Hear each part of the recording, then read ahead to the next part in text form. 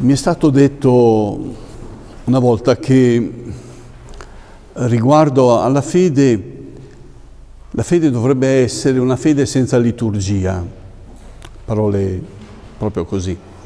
La liturgia è la preghiera pubblica corale che il popolo di Dio fa, così come in questa assemblea di una messa domenicale.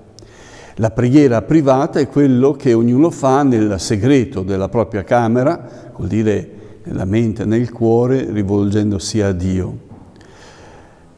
Se liturgia è la preghiera corale che non deve essere fatta, semplicemente eh, questo tipo di obiezione vuol dire che la fede è una questione che si risolve solo e unicamente fra eh, me e ciò che penso o Dio come lo penso e via di questo passo.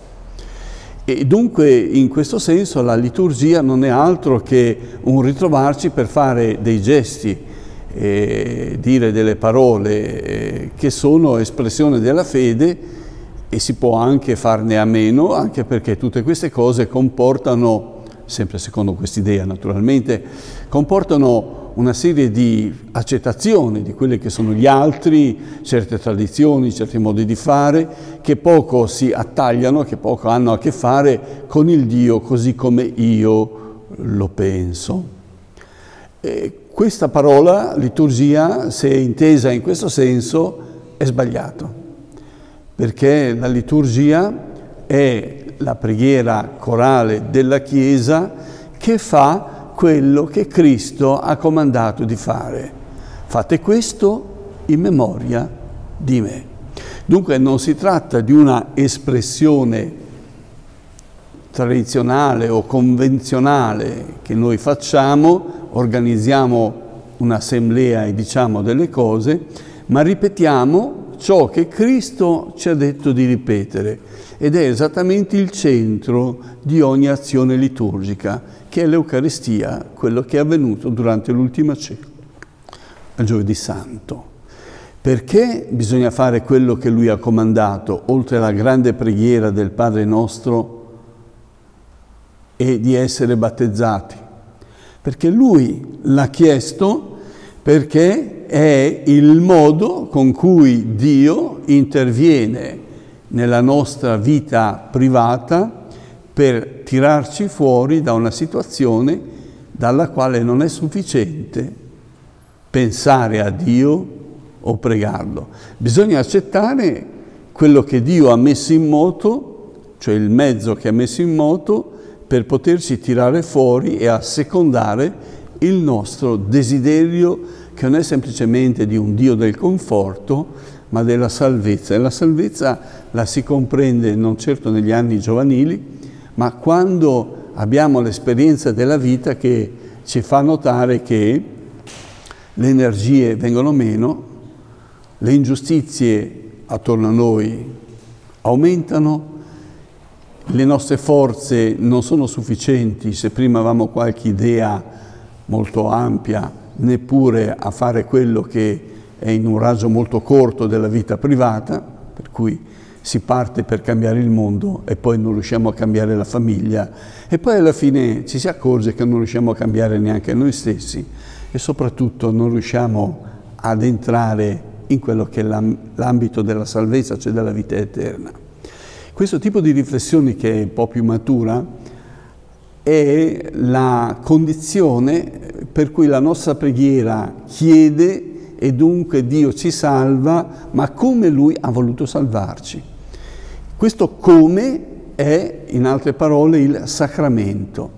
Liturgia dunque è celebrazione del sacramento e il sacramento è propriamente l'intervento della forza e la potenza di Dio in un modo, in un tempo che Lui ha stabilito attraverso ciò che Lui stesso ha creato, la materia.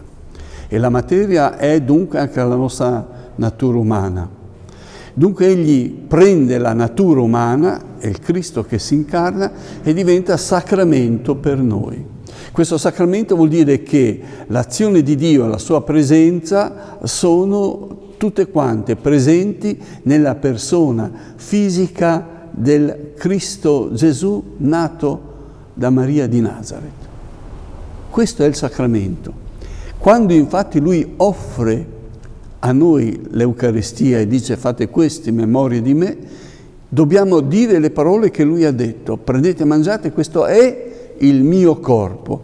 Chi mangia di questo pane e beve eh, di questo vino, o meglio, chi mangia la mia carne e beve il mio sangue, questi avrà la vita eterna, io lo, lo farò risorgere l'ultimo giorno.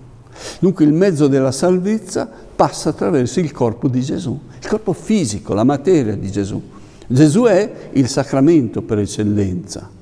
E dunque la liturgia non è semplicemente un ritrovarci per organizzare una preghiera, ah, in certe chiese protestanti forse lo è perché non c'è la fede in certo, un certo numero di sacramenti, ma è un ritrovarci per ripetere, fare quello che Gesù ci ha comandato, la cena del Signore che ci dà attraverso questo pane che diventa la sua carne, il suo sangue, la sua stessa vita che è fisica e spirituale al tempo stesso, materiale e spirituale.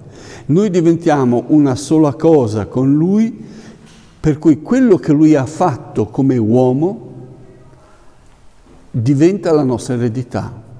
Lo dice San Paolo proprio in questo brano, Lettera ai Romani, che abbiamo appena letto, e dice, fratelli, non sapete che quanti siamo stati battezzati in Cristo Gesù, siamo stati battezzati nella sua morte, che vuol dire il battesimo è il segno della morte dell'uomo vecchio perché possa risorgere un uomo nuovo che è il Cristo stesso che si innesta nel nostro, nel nostro corpo, nella nostra anima. Una parte di noi deve morire e noi dobbiamo accettarlo e una parte risorge quello che il Cristo ha messo in noi. Lui facendo questo ha fatto quello che noi non sapremmo fare. Ha immerso se stesso con la sua natura umana nel fondo dei nostri peccati e in tutte le conseguenze, sofferenza, ingiustizia, incomprensione, morte. C'è passato e ha detto io do la mia vita e la riprendo. Quindi non ha fatto finta di morire, è morto veramente e se l'è ripresa, è risorto. Quindi dice, chi mi dà la mano e diventa parte di me, compie lo stesso percorso che io ho fatto. Se, tu, se dunque tutti gli uomini vanno nella morte, risorgono quelli che sono tenuti per mano dal Cristo e quindi continuano questo percorso, ma risorgono. E proprio San Paolo, nella lettera ai Galati, dice proprio afferrati da Cristo, afferrati, siamo presi su. E questo essere presi su non è che accade senza il nostro consenso, accade col nostro consenso qui, adesso ed ora, perché noi partecipiamo di quello che Lui ha fatto, solo che Lui ha fatto il percorso che noi non sappiamo fare e ci chiede di essere uniti a Lui. Il battesimo non è un rito di iscrizione all'anagrafe dei cristiani, è il rito, come dice San Paolo, che ci fa seppellire nella morte con Cristo, ma con la speranza di risorgere con Lui perché Lui l'ha promesso. La nostra speranza cristiana non è che andrà tutto bene, è che risorgeremo e andremo in una situazione che è molto di più che tutto bene, è il regno della vita eterna con un corpo risorto. Infatti dice, ma se siamo morti con Cristo, crediamo che anche vivremo con Lui, sapendo che Cristo, risorto dai morti, non muore più. La morte non ha più potere su di Lui. Infatti egli morì e morì per il peccato una volta per tutte. Ora invece vive e vive per Dio. Così anche voi consideratevi morti al peccato, ma viventi per Dio in Cristo Gesù. Dunque, tornando alla questione, non esiste una fede staccata dalla liturgia e non può esistere una liturgia staccata dalla fede perché la liturgia è celebrazione del sacramento, della vita così come Dio ce la dà attraverso la sua stessa vita di uomo che diventa per noi quella mano che ci tiene e ci porta da Lui.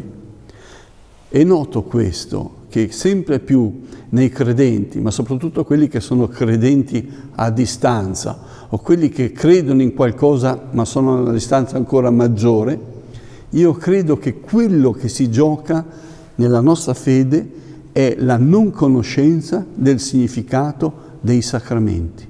Perché se sapessimo quello che accade sull'altare, come disse Gesù in una rivelazione privata, strisceremmo davanti alle porte della Chiesa per chiedere misericordia e accedere al sacramento. Avviene invece il contrario. Noi non sappiamo, a volte ci sono dubbi di fede, ma qui nella nostra generazione non è più una questione di dubbio, è proprio una questione di mancanza di conoscenza di ciò che la nostra fede è. Non è un'idea, un'ideologia, un consorzio di idee, qualcosa di convenzionale, è qualcosa che Dio dall'alto ci offre e ce l'offre col prezzo di una vita purissima che è la vita del Cristo. A noi spetta l'adesione e l'unione col Cristo. Ed è per questo che dice chi crede in me avrà la vita eterna. E chiunque crederà a voi che io ho mandato, crederà in me. E dunque io gli darò la ricompensa, perché la fede in Cristo si manifesta con questo passaggio di sacramentalità, che è la Chiesa, che siamo noi popolo di Dio.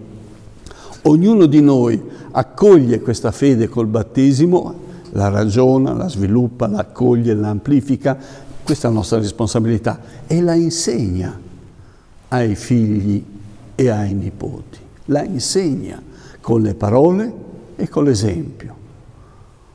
Non siamo perfetti, ma l'anima che crede sa guardare oltre l'imperfezione. Se noi invece guardiamo solo le imperfezioni è perché non vogliamo credere già a priori. Allora troviamo tutte le scuse, i motivi per dire ricordo solo del catechismo, o ricordo solo di mia mamma, o ricordo queste cose negative. Per me dunque la fede è da gettare. L'anima che si apre alla fede sa riconoscere in ogni insegnamento buono, da quello occasionale per strada a quello che si diceva in modo costante in casa, si perfeziona qui anche nella Chiesa attraverso l'ascolto della parola e il catechismo, ma è un lavoro continuo. L'anima che sa dunque riconoscere nella fede trova la luce sempre. L'anima che non vuole la luce trova sempre i difetti per dire che non va bene, perché non vuole la luce. Noi dobbiamo essere dunque così profondamente aperti davanti a un mistero che si chiama così perché è qualcosa che è sostanzialmente oltre la barriera di ciò che si vede. Vedo il pane, ma la mia fede sa con perfetta coscienza che non è più pane, ma è diventato corpo di Cristo. Sento il bene, sento il giusto, sento le cose come dovrebbero essere, la mia mente e il mio cuore sanno che si riferiscono a un bene, a una giustizia, a una verità che esiste per se stesso, non è semplicemente il frutto di quello che noi facciamo. Le cose belle, le cose vere, le cose che sono, sentiamo e sappiamo che stanno al di là delle cose ed esistono per se stesse. Queste cose sono Dio stesso che si manifesta come verità, come luce, come limpidezza, come onestà, come purezza. E noi sentiamo che questi valori stanno in piedi perché sono per se stessi quello che noi chiamiamo Dio e che Lui poi insegna con la rivelazione. Ma ogni uomo sente queste cose. Ma se io non le voglio seguire, troverò sempre delle scuse per non seguire neanche i valori. Non voglio dire Dio, neanche i valori. Ma c'è un Dio per tutti anche se non lo conosciamo di persona, sentiamo che il bene si chiama bene e va seguito. E se uno sceglie il male e fa male all'altro, sa che va a colpire qualcosa che sta al di là della persona stessa che ha colpito. Ha ucciso o ha fatto del male o ha tradito o ha ingannato sapendo di commettere qualcosa che è riprovevole. Ogni uomo sa questo. Questo è quello che ci aiuta a capire chi è Dio. Poi un giorno tutti quanti lo vedranno e lui ci dirà, Tu mi hai riconosciuto, ma io non ti ho mai conosciuto. Sì, quella volta che hai scelto il bene anziché il male, quella volta che sei stato caritatevole anziché egoista, quella volta tu l'hai fatto a me, come dice qui nel Vangelo.